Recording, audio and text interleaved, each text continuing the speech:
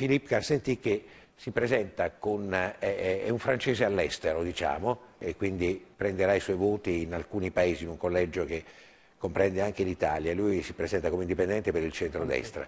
Voi pensate che la vittoria del, della sinistra ci sarà anche alle elezioni di giugno, alle elezioni parlamentari, per, quindi stabilendo definitivamente una, una gestione a sinistra della Francia o c'è qualche possibilità anche per voi? Écoutez, le, Guardi, il funzionamento costituzionale della Francia, o democratico, il funzionamento democratico, fa sì che quando un presidente viene eletto, eh, l'Assemblea nazionale euh, segue il movimento del presidente che è stato eletto. Quindi ci sono delle grosse possibilità, direi quasi la certezza, che ci sarà un Parlamento di sinistra.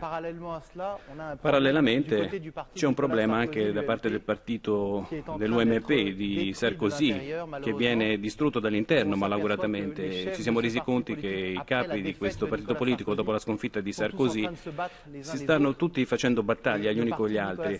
E il partito di Sarkozy, l'UMP, è un partito che probabilmente direi che andrà a spaccarsi, a smembrarsi in diversi pezzi. e ci sarà la, la guerra dei capi, dei leader. e quindi sì, la sinistra vincerà e io in, in quanto indipendente di centrodestra ho una possibilità in questo momento di poter direi partecipare partecipare alla ricomposizione della destra francese ed è davvero un'opportunità incredibile in questo momento per sviluppare valori molto più liberali e molto più aperti rispetto a quelli che abbiamo avuto adesso con il partito unico della destra che ha completamente soffocato il dibattito politico. La sconfitta di Sarkozy è il risultato del fallimento di questo partito, dell'UMP. Ma vedremo perché credo che con la fine politica di Sarkozy si apra un notevole spazio anche per Marine Le Pen, insomma, che era la più interessata che Sarkozy uscisse di scena probabilmente. Insomma. Alors.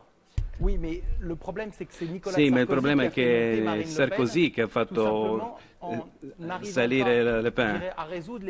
Eh, non, non, non possono, noi non siamo riusciti a risolvere il problema che bisognava risolvere, poi sono stati ripresi tutti i problemi politici di Le Pen. Sarkozy aveva delle ottime idee alla partenza, ma poi non è riuscito ad applicare la sua posizione. Quindi adesso la possibilità che abbiamo con la ricomposizione della destra e direi la dislocazione dell'OMP è creare dei partiti di destra, di centrodestra, che potranno riprendere la, il percorso della Le Pen e che potranno fermare l'estrema destra. Quindi il risultato di cinque anni di Sarkozy è che il 20% di Marine Le Pen, il 10% di Mélenchon significa 30% di estremismo in Francia, poi il 20, più il 20% di astensioni.